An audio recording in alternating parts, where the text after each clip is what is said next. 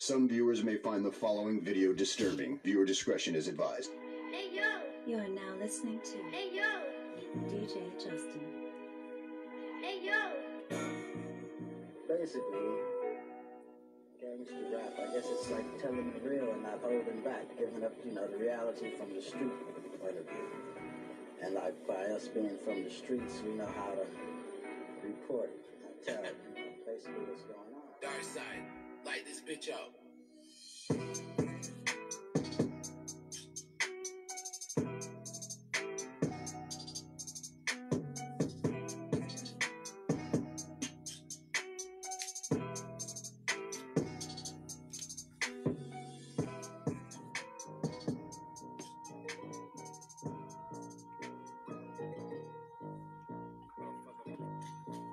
Listen, I was riding through the hood in the pink. And all I want is money, I don't need no friend. I was riding through the hood in the pink. And all I want is money, I don't need no friend. I was riding through the hood in the pink. And all I want is want is want is pink. All I want is money, I don't need no friend. I was riding through the hood in the pink. I was riding through the hood in the pink. And all I want is money, I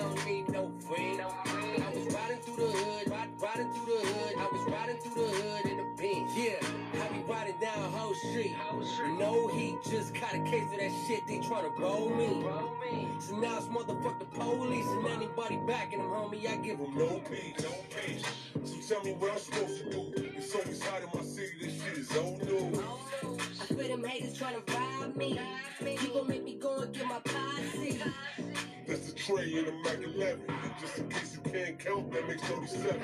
I let them haters know what it is. You gon' have to call the insurance for all the damages. I was riding through the hood in a pink. All I want is money. I don't need no friend. I was riding through the hood in a pink. all I want is money, I don't need no friend. I was riding through the hood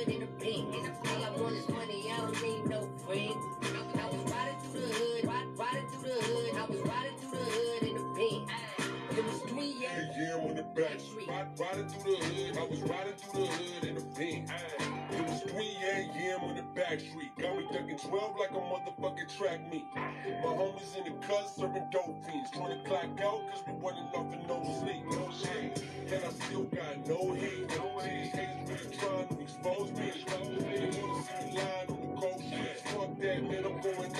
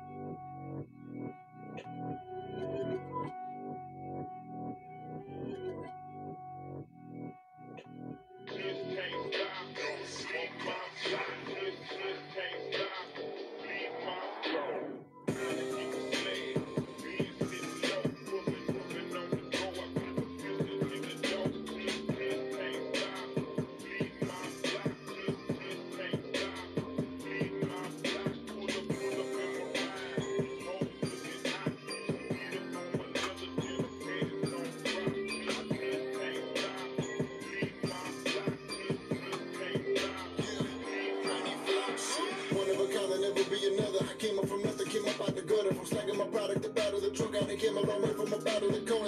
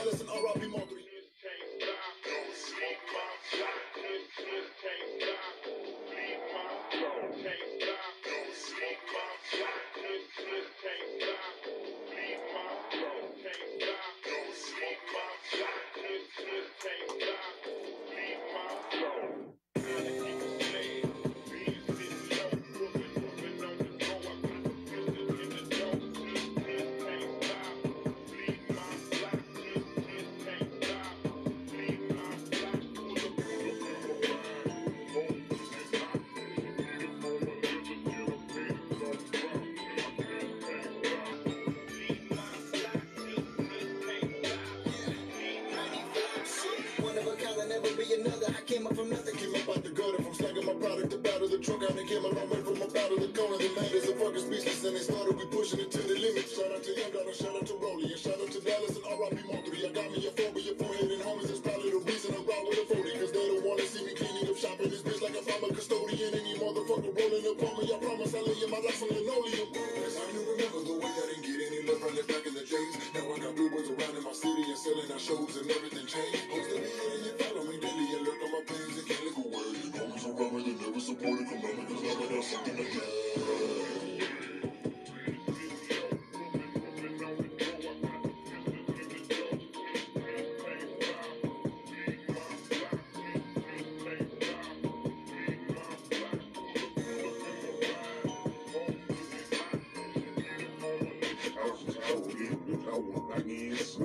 take me.